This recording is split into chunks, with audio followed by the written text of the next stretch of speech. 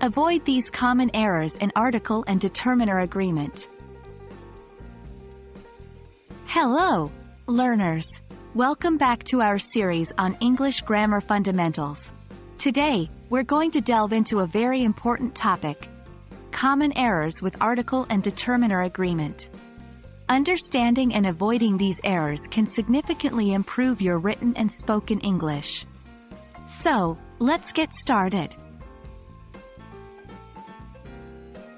Before we tackle the common errors, let's quickly recap. Articles and determiners are words that precede and modify nouns. In English, articles include a, an, and, the.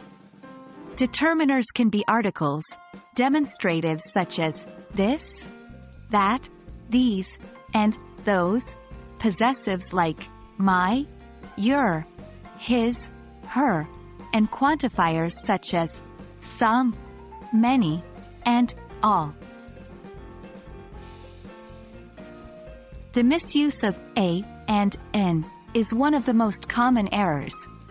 Remember, a is used before words that start with a consonant sound, while an is used before words that start with a vowel sound. Mistake, a apple, correct, an apple. Another common mistake is using the incorrectly or not using it when necessary. The is used when referring to something specific. Mistake. I saw movie yesterday. Correct. I saw the movie yesterday. Errors with determiners usually involve using the wrong determiner or omitting a determiner when one is needed. Remember, Determiners are needed before most singular nouns and also with some plural nouns and uncountable nouns.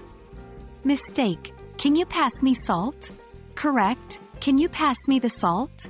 Mistake. She has big eyes. Correct. She has big, blue eyes. Also, remember that determiners and adjectives need to follow a certain order. Usually, determiners come before adjectives. Mistake. She has blue, big eyes. Correct. She has big, blue eyes. And there you have it. These are some of the most common errors with article and determiner agreement. Remember, practice makes perfect. So keep writing, keep speaking, and most importantly, keep learning. We hope this video has been helpful to you. Don't forget to like and subscribe for more grammar lessons. Until next time, happy learning!